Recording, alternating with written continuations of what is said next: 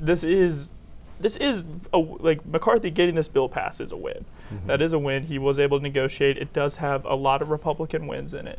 Has, it does cut spending. It does have work requirements. It has permitting reform, and it has a lot of these things that Republicans wanted, but it just is not enough for um, some members, and and you're never going to make everyone happy.